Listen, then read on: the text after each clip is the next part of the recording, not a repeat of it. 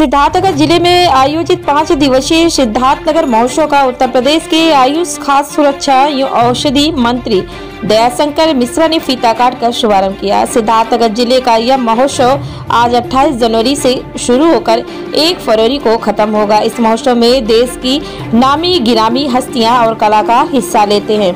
महोत्सव का शुभारंभ करने के बाद मंत्री दयाशंकर मिश्रा ने मीडिया से बात करते हुए कहा कि सिद्धार्थनगर ज़िले में महोत्सव का आयोजन बहुत ही भव्य रूप में हो रहा है। इसके लिए सरकार द्वारा बहुत ही कम बजट निर्धारित है।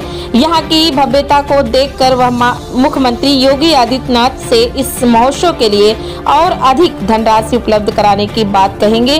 उन्होंने कहा कि वह आयुष विभाग के मंत्री है। आयुष दुनिया की सबसे पुरानी उपचार की औषधि की पद्धति है। इसको बढ़ावा देने के लिए मोदी सरकार पूरी तरह कटिबद्ध है। उन्होंने कहा कि सरकार की कोशिश है कि धीरे धीरे आयुष पद्धति की दवाओं को ज़्यादा से ज़्यादा लोगों के बीच पहुँचाया जाए। इसके लिए योगी और मोदी सरकार बहुत ही बढ़िया स्तर पर काम कर रही है। उन्होंने कहा कि सिद्धार्थनगर ज़िले में पर्यटन की जो संभावनाएँ हैं, उसको देखते हुए लगातार पर्यटन के क्षेत्र में भी कार्य किया जा रहा है, जिसका नतीजा भी अब देखने को मिल रहा है। पाँच दिवसीय इस महोत्सव के उद्घाटन अवसर पर स्थानीय सांसद जगदम्बिका पाल, विधायक विनय वर्मा श्याम धनी राही सहित ज़िले के अन्य विधायक भी मौजूद रहे। अभी मैंने मंच पर बैठकर माननीय सांसद से पूछा कितना बजट है, जो बताया उन्होंने कम है जितना भव्य आयोजन है जितना बड़ा जितने बड़े कलाकारों को बुला के यहाँ कार्यक्रम हुआ निश्चित ही हम यहाँ की बात। ज़िले की आवाज़ हम माननीय मुख्यमंत्री जी तक पहुँचाकर इसके बजट को बढ़ाने का हर संभव प्रयास करेंगे क्योंकि आयोजन की, की गहराई कह लीजिए आयोजन के बृहद रूप को देखते हुए निश्चित ही आपका ये जो यहाँ का बजट है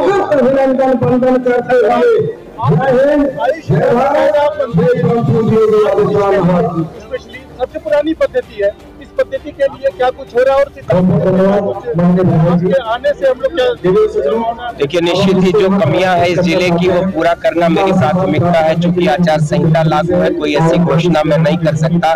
लेकिन मैं जो भी यहाँ के जनप्रतिनिधियों के द्वारा सबसे मेरे रिश्ते हैं माननीय सांसद जी से विधायक गणों से जो भी यहाँ कमियाँ है उस सुविधा को लेकर चूँकि माननीय इस ये जो धर्मस्थली है ये भगवान बुद्ध की और जो हमारे आयुष मंत्रालय में एक सोवा रिक्पा एक विधा है जो आज से 2700 वर्षों पूर्व अपने महात्मा गौतम बुद्ध के द्वारा ही शुरू की गई जो पूरे देश के पर्वतीय अंचलों में प्रचलित है चाहे वो जम्मू कश्मीर हो चाहे वो हिमाचल की लाहौल स्पीति घाटी हो चाहे पूर्वोत्तर राज्य हो तो निश्चित ही आयुष में इन सारी विधाओं को आगे बढ़ाने के लिए मेरी तरफ़ से उत्तर प्रदेश का आयुष मंत्रालय और केंद्र सरकार हमारे माननीय नरेंद्र मोदी जी का आयुष पे विशेष तौर पर फोकस है और हम सब उसके अनुरूप काम कर रहे हैं। सर यहाँ का टूरिज़्म जो है वो बहुत नीचे स्तर पे धीरे धीरे अभी तक सड़कों का अभाव आवाज़ में आ रहा था कितनी बढ़िया सड़कें दिखी। जो इंफ्रास्ट्रक्चर है किसी भी दुनिया के दूसरे देशों का पर्यटन